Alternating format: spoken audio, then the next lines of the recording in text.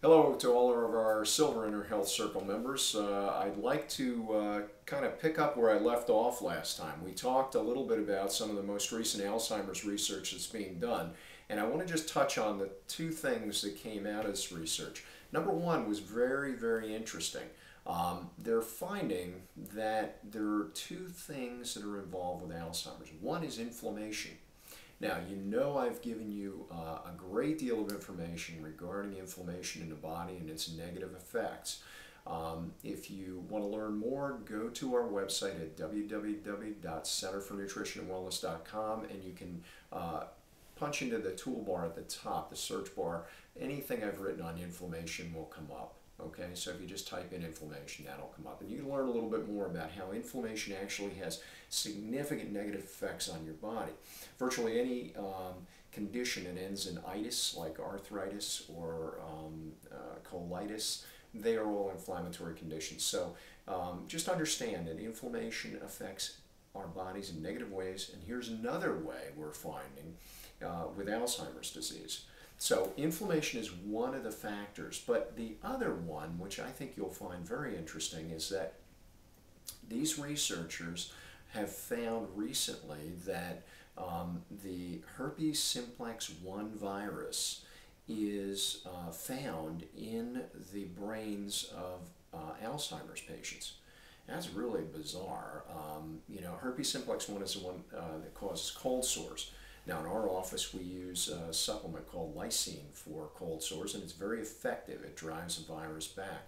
But you have to realize that viruses, the way they work, they actually impregnate their DNA into your cells. So a viral cell will kind of inject its DNA into your cells.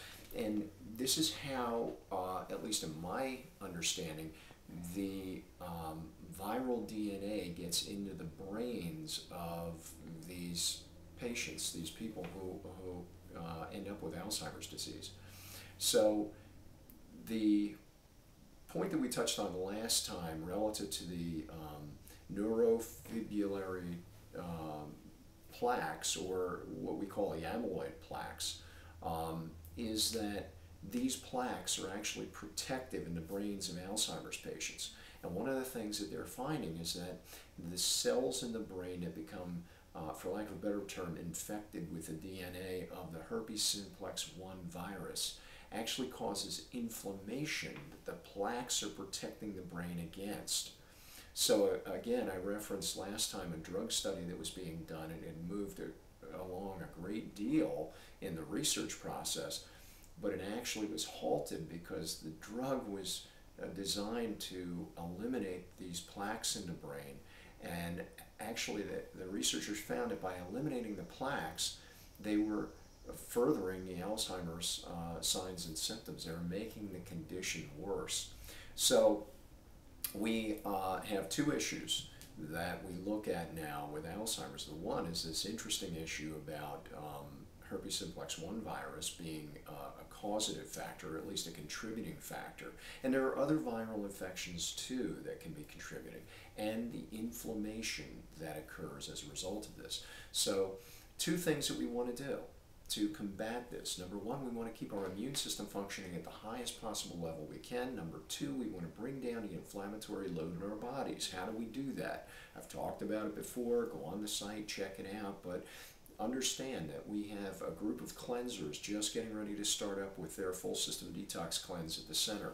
And one of the things they're going to be doing in the process of their cleanse is decreasing the inflammatory load in their bodies. They're going to be reducing inflammation throughout their whole systems. And this is why patients who go through the cleanse oftentimes have a reduction in arthritic symptoms, in bowel symptoms, in bladder symptoms because they can all be inflammatory in nature.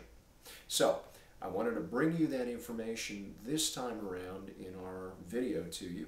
Um, I will be writing an article, it should be out in our next uh, newsletter or the following one about this research so that you can read a little bit more about it and uh, maybe study a little bit more about this condition which is going to be affecting hundreds of thousands more people in the coming decades. So it, it's critical that we get on top of this, start doing things to prevent it, and understand the process.